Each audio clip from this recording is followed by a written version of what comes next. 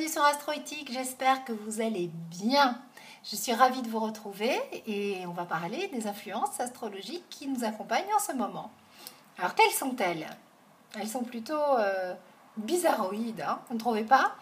On sent que la fin de la rétrogradation de Mars euh, crée une espèce d'entre-deux qui est une zone d'inconfort où on doit faire face à tous nos nouveaux acquis qui ne sont pas encore consolidés, qui ne sont pas encore euh, des habitudes que l'on a prises. On est vraiment dans cette euh, période où toute la rétrogradation de Mars nous a servi à oser la nouveauté, à aller vers euh, quelque chose qu'on ne connaissait pas, vers l'inconnu, à apprendre, à, être dans l'action de quelque chose qu'on ne savait pas faire. Et à se dire, bon voilà, dans ma vie, il y a ça, il y a ça qui doit changer, et je fais tout pour. Et on était dans cette espèce d'euphorie comme ça, parce que finalement, les, les moments où les planètes sont rétrogrades, ben, c'est des moments où on, fait vachement de tri, où on met beaucoup d'ordre. Là, il va bientôt y avoir la rétrogradation de Mercure, vous allez en mettre de l'ordre dans vos papiers, dans vos idées. Et lorsque la planète redevient directe, tout d'un coup, ces changements d'énergie, on est sur quelque chose de, de différent, ils font consolider c'est que tout ce qu'on a décidé d'apprendre, tout ce qui est neuf, toutes les façons de faire différentes qu'on a voulu mettre en place, tous les changements qu'on a instaurés, eh bien ça y est.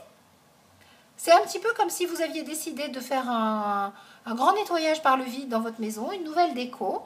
Et pendant toute la période où Mars était rétrograde, c'était le chantier, il y avait un gros désordre partout. Et puis, euh, une fois que Mars est redevenu direct, eh bien ça y est, les meubles sont plus au même endroit, c'est nouvelle décoration, euh, ou bien nouveau logement, enfin voilà, nouvelles habitudes. Euh, on fonctionne plus de la même manière, et puis là, bah, c'est là que vous vous cognez au coin de la table, bah, parce que votre cerveau, il n'a pas encore enregistré, il n'a pas encore pris l'habitude de cette nouveauté.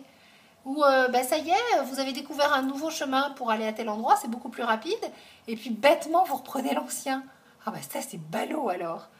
Eh oui, vous savez comment elle est la vie, hein quand on décide de changer, de progresser, d'évoluer, elle vient toujours nous reproposer un petit truc d'avant pour être sûr qu'on a bien compris et qu'on ne veut plus fonctionner comme ça.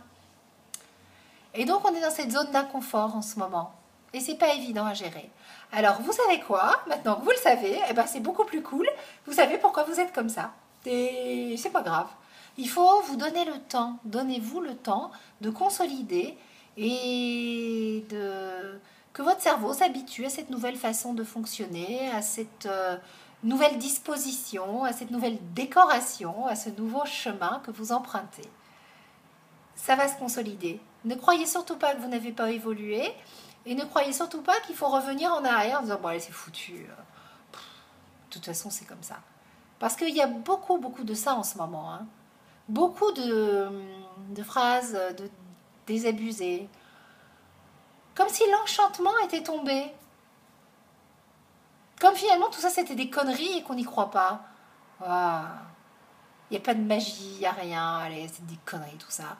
Vaut mieux que je reste dans mes bons vieux schémas. Euh, allez, sois réaliste de toute façon, tu le sais bien, c'est comme ça, ta vie elle t'a toujours inculqué ça. Eh ouais, il y a beaucoup de ça en ce moment. Hein. Où est la magie? Elle va revenir. Elle est, elle est là elle est aussi dans ça, dans le fait qu'il faut consolider. Voilà.